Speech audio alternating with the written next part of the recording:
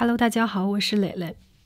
每次想吃豆腐，就要去很远的中超买，豆腐的保质期又不长，只能吃一次买一次，很是累人。今天咱们就用自制的豆腐模具自己来做卤水点豆腐。豆腐不好保存，黄豆可以呀。五百克黄豆清洗干净以后泡水过夜。卤水点豆腐这句话出自《红楼梦》，后边的一物降一物，借贾宝玉的故事，道出人与人之间奇妙的化学反应。比人情更稳定的化学反应是食物之间的。本来被水隔离开来的蛋白质，在卤水的帮助下，终于和水分离开来，凝结到一起。其实做豆腐是不容易失败的。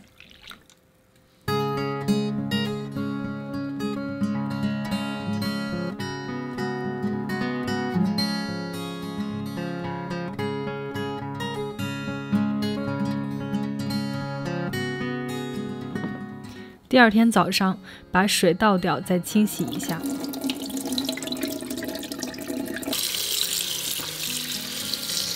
难免有不好的豆子，挑拣扔掉，这就是自制的好处嘛。放到家人碗里的东西，就从原料开始进行检测。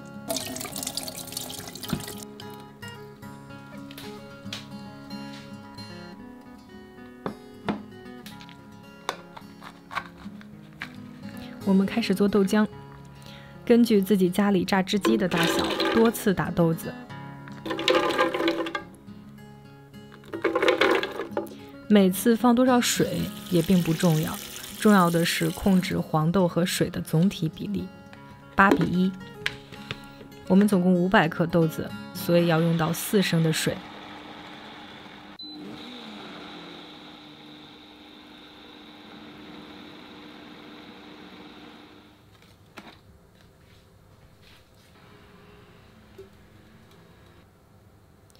放到纱布里，把汁挤出来就是豆浆了。剩下的豆渣其实可以炸丸子吃，少量就增香，多了就破坏丸子的结构，碎碎的并不好吃。如果你觉得剩下的豆渣还非常浓郁的话，可以取你四升水里边的清水来给它冲洗一遍。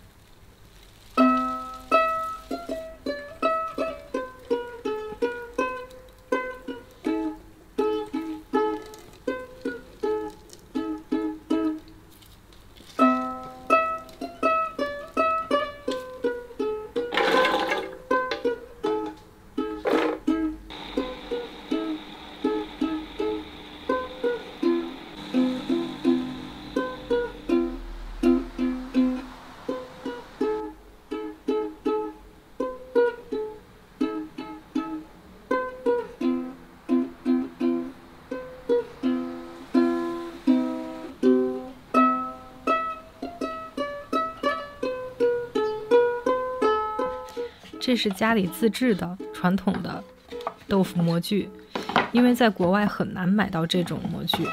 嗯，我家的那位看了一眼图片，就跟我说，其实这个很好做，就用家里做柜子剩下的木头做了一个这样的模具。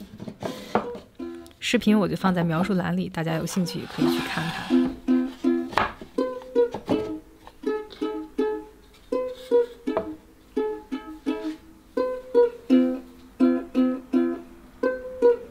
盐卤是在纳杜哈利亚一家有机食品连锁店买到的。其实有机店一直都有尼嘎黑，只不过一直都不知道。那固状的盐卤只需要适量的清水就能变成卤水了。适量的意思就是多少没那么重要，建议一比二就好了。重要的是确保盐卤完全融化。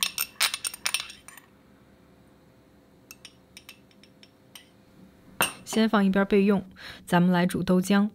煮豆浆的时候要不停的搅拌，因为豆浆非常容易糊底。豆浆到达沸点也容易溢出，这样搅拌也可以适当降低温度。在整个过程里，随时撇去浮沫。豆浆煮沸以后要继续煮两三分钟。平时去超市买豆腐，写着可以凉拌的，就是这一步煮沸的；不能直接凉拌的，就是这一步没有煮沸的。没有煮沸也可以做豆腐吗？是的，因为卤水点豆腐需要七十度到八十度之间的豆浆，豆浆温度还是很重要的因素。测量好温度之后，就一点一点的把卤水点进去。现在你知道为什么要叫卤水点豆腐了吧？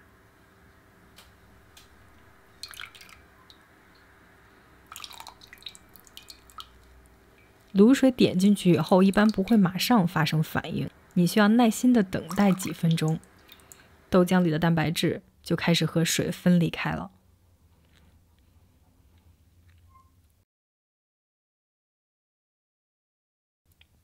这是刚才准备好的豆腐模具，链接在描述栏里，没有的话可以用蒸锅来代替。接下来就很简单啦，铺上纱布，把点好的豆浆给过滤出来。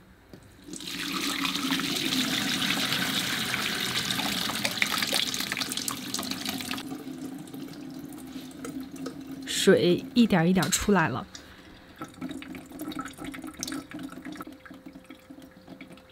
但是这样还不够，因为你需要让这个豆腐凝结到一起，变成一个固体嘛。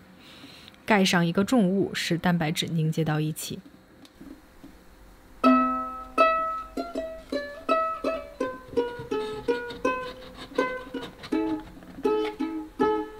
做中等硬度的豆腐，等半个小时就足够了。如果要做硬一点的豆腐，就多等一会儿嘛，两三个小时都可以。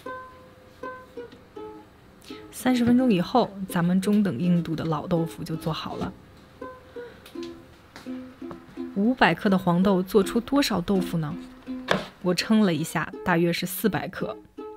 盐卤点豆腐这种传统的方法做出的豆腐很是浓郁，但是要用到真材实料啊。